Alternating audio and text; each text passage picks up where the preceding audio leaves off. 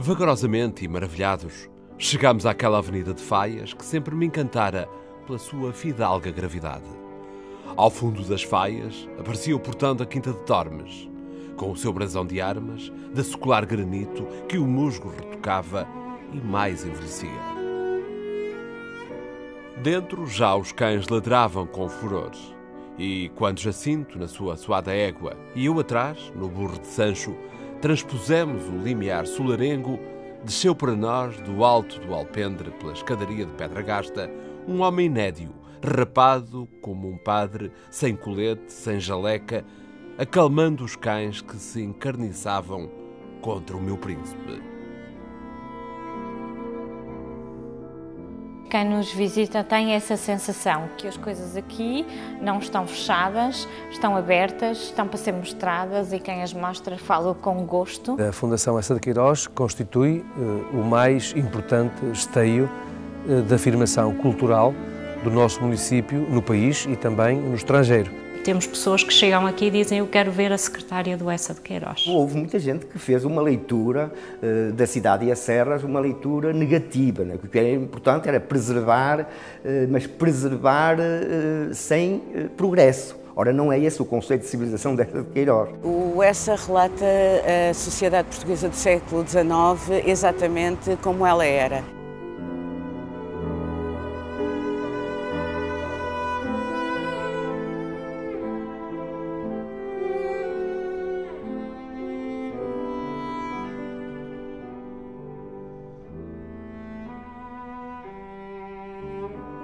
Durante os 55 anos de uma vida intensa. Essa nasceu a 25 de novembro de 1845 na Póvoa de Varzim e morreu em Neuilly-sur-Seine a 16 de agosto de 1900. José Maria Essa de Queiroz passou pouco tempo na quinta e na casa, que foi palco de um dos seus últimos romances. O Essa nunca viveu no espaço, ah, mas as quatro visitas que faz ao espaço são extremamente marcantes, porque quem lê a Cidade e as Terras ah, encontra totalmente escrito o caminho de Jacinto, a casa, a paisagem.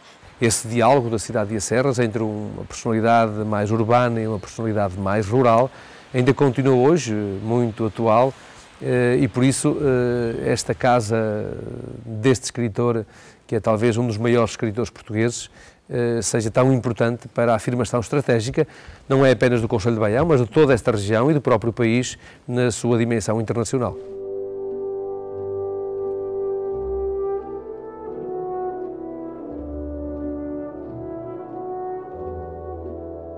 Mais de um século passado sobre a data de publicação do romance, a casa e a paisagem envolvente conservam o essencial do mundo descrito por essa de Queiroz. Como aqui a construção ainda não é muito massiva, a poluição é praticamente inexistente, aquilo que o ESA nos descreve é ainda hoje muito daquilo que as pessoas podem fruir no espaço.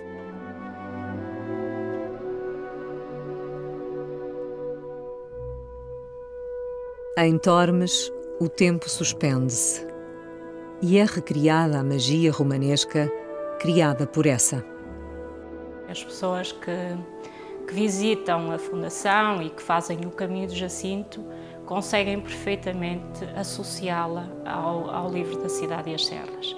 O Essa descreve de tal forma uh, a subida do caminho, os sabores, os cheiros, as árvores, uh, tudo que aqui encontra, que ainda hoje as pessoas fazem essa relação com a obra. Na casa, o escritor está por todo o lado apesar de ter havido um naufrágio ah, no África quando a transferência dos bens entre Paris e Portugal, há muita coisa que chegou até nós. Até os candeeiros que temos aqui patentes nesta biblioteca, ou, por exemplo, um sapinho, uma cesta do bordado. Ah, e, claro está, há muitíssimas fotografias à parte da sua biblioteca, ah, aos manuscritos, ah, por isso aqui respira-se efetivamente essa de Caraz, porque estamos a ver as suas coisas. A primeira impressão de essa na casa de Tormes é francamente negativa.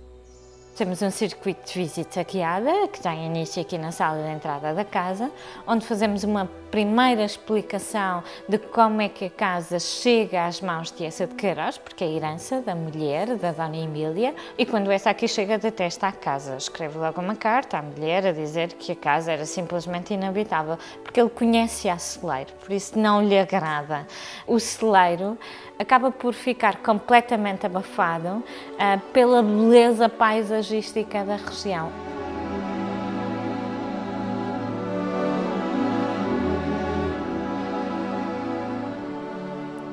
A casa está cheia de objetos que o escritor usou, manuseou, tocou. O sítio que mais marca as pessoas é aqui junto da secretária dele. Eh, é a peça mais emblemática que nós temos da casa e, e, as pessoas facilmente se emocionam quando chegam junto da secretária dessa de Queiroz, principalmente os brasileiros. Depois há outras coisas que as pessoas também apreciam bastante, como o armário que tem os objetos pessoais do escritor, as alianças, o alfinete de gravata, o monóculo. E a peça para nós mais simbólica é efetivamente a sua secretária.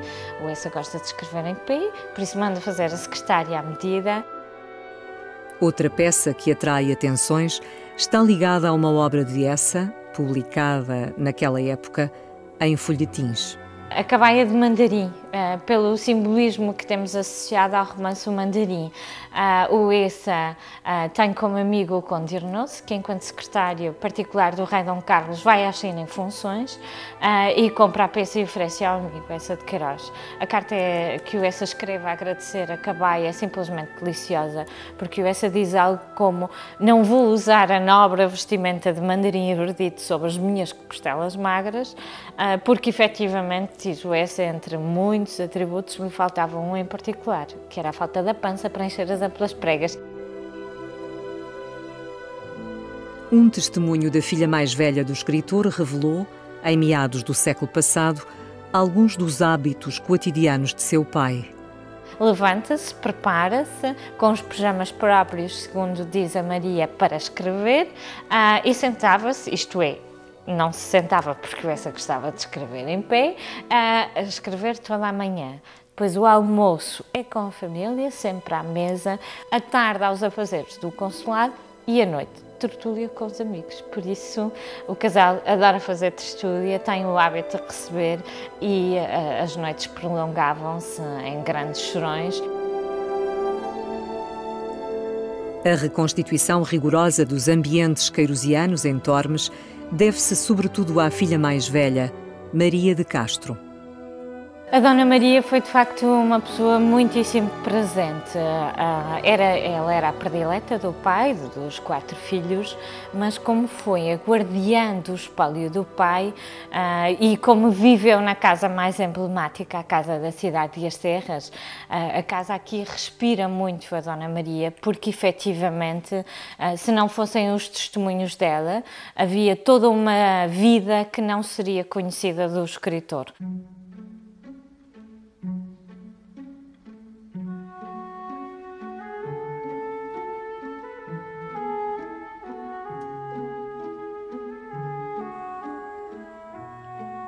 Criada há um quarto de século, a Fundação Essa de Queiroz nasce por iniciativa de familiares do escritor, com o apoio da Câmara e de uma empresa privada. A Fundação foi constituída em 1990 por uma doação feita por Maria da Graça de Castro, que era casada com um dos netos do escritor, o Manuel de Castro, filho da Maria Essa de Queiroz. A Dona Maria da Graça e o marido não tiveram filhos e decidiram constituir a Fundação para que todo este património não se perdesse. Assim aconteceu, em 1990, com a colaboração da Câmara Municipal e da JP Vinhos, foi possível constituir a Fundação, portanto, este ano celebramos 25 anos de existência. Uma das mais-valias da participação da autarquia na Fundação Essa de Queiroz tem a ver com a sustentabilidade do projeto.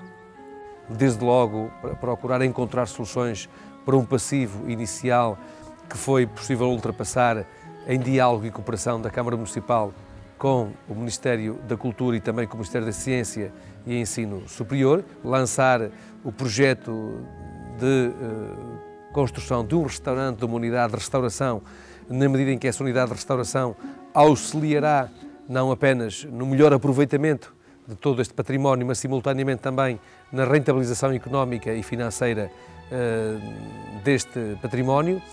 Mas, por outro lado, ainda lançamos também um outro, uma outra parceria com uma entidade privada no que concerne à produção uh, e comercialização de um dos produtos que é mais conhecido da Fundação Santa Queiroz, que é o vinho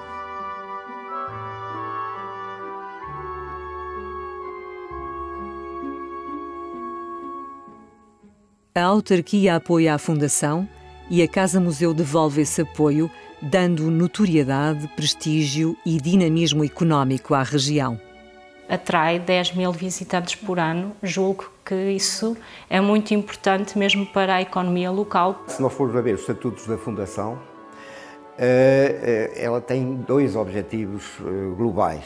Um deles é naturalmente a preservação e a divulgação da obra do Essa de Queiroz e o espólio, e o outro é o desenvolvimento local. O apoio ao desenvolvimento local e regional é anterior à existência da Fundação. Tem como maiores entusiastas o neto de Essa de Queiroz, Manuel de Castro, e sua mulher, Maria da Graça e com bons resultados. O primeiro centro de saúde do interior do distrito acabou por ser o de Baião. Uh, o primeiro plano de vacinação materno-infantil em todo o Conselho acabou por ser o de Baião. Ainda como propriedade particular, a Casa de Tormes recebia visitas e abria-se à comunidade. Já se faziam aqui eh, muitas visitas, eh, nomeadamente com estudantes, porque pedia-se autorização, mas não era preciso pedir autorização. Quer dizer, era à vontade da própria família, Dona Maria da Graça, que as pessoas viessem, nomeadamente as escolas. A casa, a quinta e um substancial espólio do escritor, que inclui uma biblioteca com mais de 4.500 livros, foram franqueados à curiosidade dos apreciadores e estudiosos de essa de Queiroz a Dona Maria da Graça e o marido, e também já era desejo da sogra, tinham esta casa que servia de inspiração para, para o romance A Cidade e as Serras, tinham um terço do espólio do escritor e acharam que não podiam reservar isso só para si e tinham que partilhar com o público. Depois de obras de adaptação e de transformação da casa em museu, curiosos e estudiosos de essa vindos de todo o mundo, puderam finalmente mergulhar nas ambiências de A Cidade e as Serras. A partir de 1997, quando a casa abriu ao público, passou-se a trabalhar o programa cultural e a dinamização cultural da Fundação. Os efeitos da atividade da Fundação Essa de Queiroz estão à vista. A Casa de Tormes e a própria Fundação são hoje marcas de prestígio reconhecidas por todos. Se alguém viesse aqui, eu não digo mais, digo há 30 anos, alguém viesse aqui a Baião ou até à freguesia de Santa Cruz de Ouro, aqui próximo, e perguntasse onde ficava a Quinta de Tormes ou a Casa de Tormes, ninguém sabia dizer. Ninguém sabia dizer. Se perguntasse onde ficava a Quinta de Vila Nova, então, ah, fica ali adiante. Neste momento é exatamente o contrário. E a própria estação, onde se passou, um, enfim, um episódio curioso da vinda do Essa de Queiroz e depois trans, transposto para o romance, uh, na, na, personagem de Jacinto, a própria estação continua a ser a estação de Aregos em termos de CP, mas a própria CP eh, põe Aregos barra Tormes.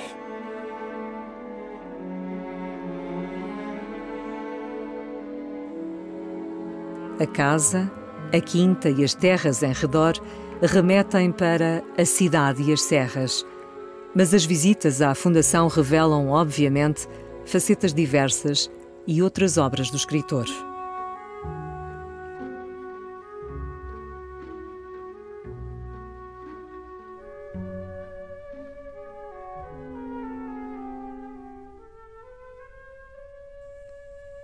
Essa é mais conhecido por romances como Os Maias ou O Crime do Padre Amaro, mas a sua obra é bem mais rica e multifacetada.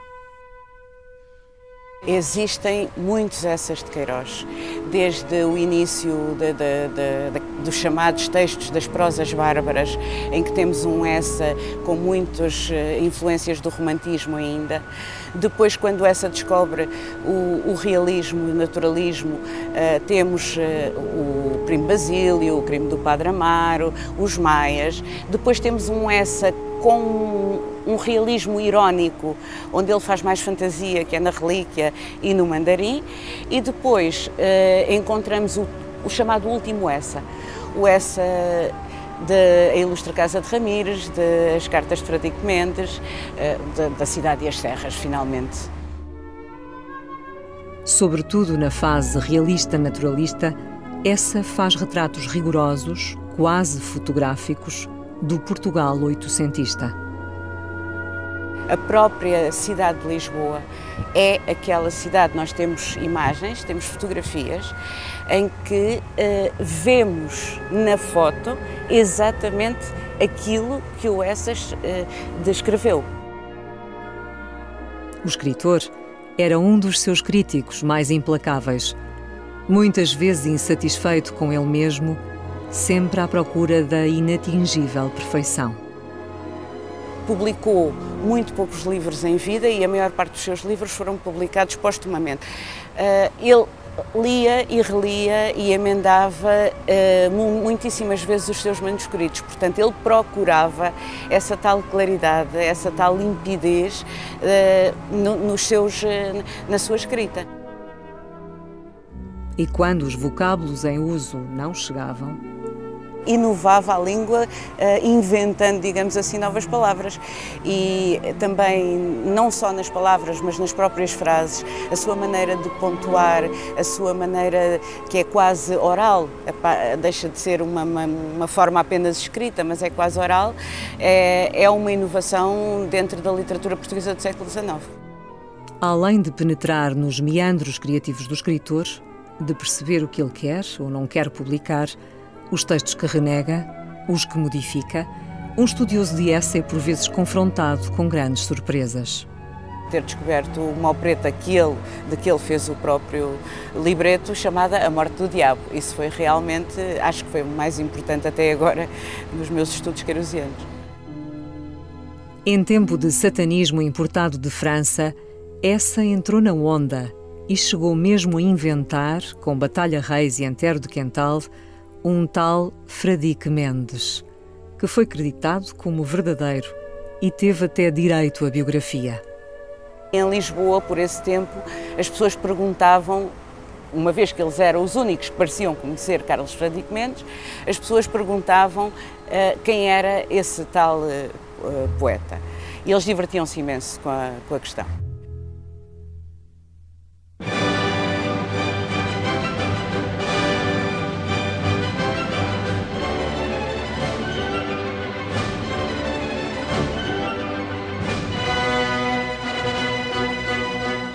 De regresso à casa e à fundação, a geografia romanesca de Essa de Queiroz está longe de se esgotar em Tormes e arredores.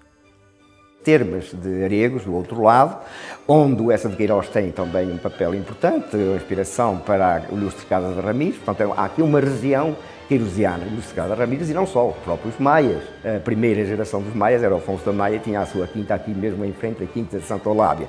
O próprio Padre Amaro, a primeira paróquia foi também aqui em frente, no Monte Muro. Rezende, que é o conselho aqui em frente, também respiro muito essa de Queiroz, porque a ilustre Casa de Ramires ah, tem muitos palcos que ainda hoje se podem visitar, ah, relacionados, e que o essa descreve muitíssimo bem, a Torre da Lagariça, do Gonçalo Mendes Ramires, da personagem personagem principal ah, em San Cipriano, ou simplesmente o mosteiro da Cárcere, onde estão sepultados ah, os rezentes.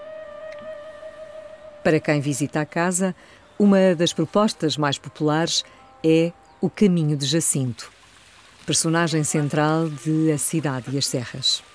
Trata-se do percurso pedestre entre a estação de Arigos, que aqui é a estação mais próxima da casa, uh, e é um percurso que tem sensivelmente 3 km uh, e que as pessoas vêm a pé fazendo todo o caminho e que têm mesmo esse contacto uh, direto com a natureza que normalmente costuma ser muitíssimo apreciado pelos miúdos.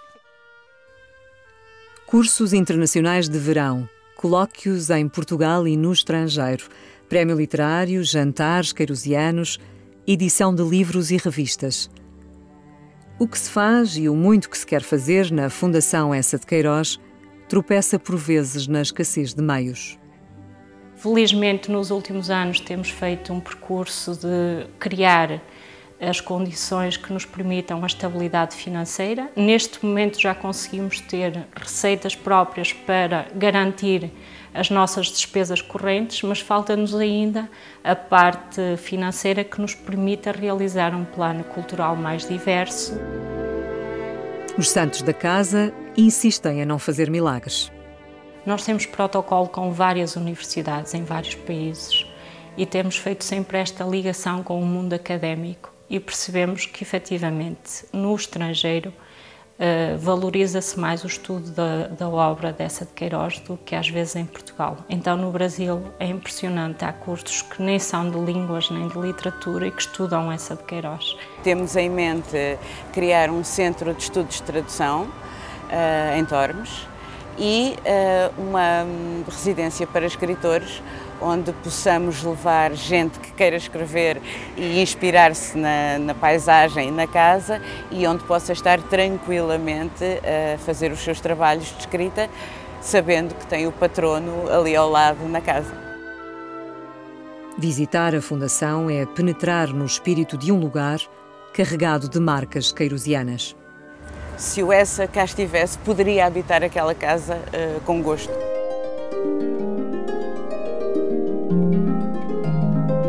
Muitas as pessoas que vêm cá e leem a obra e depois nos dizem efetivamente isto mantém-se como o escritor escreveu. Estamos convictos de que o conjunto das receitas geradas pelas atividades culturais, turísticas e recreativas pela Fundação Santa Queiroz tornarão este projeto eh, autossustentável. O vinho de Baião é falado em todos os sítios e apreciado. O primeiro que se fez foi o desta quinta. As pessoas gostam muito de, da Fundação Essa de Queiroz, não só pelo seu enquadramento, não só pelo seu patrono, mas também pela vida que a nossa casa tem. Eu acho que o sucesso maior está na obra dos escritores. Porque se não existisse a obra, não existia o sucesso da casa.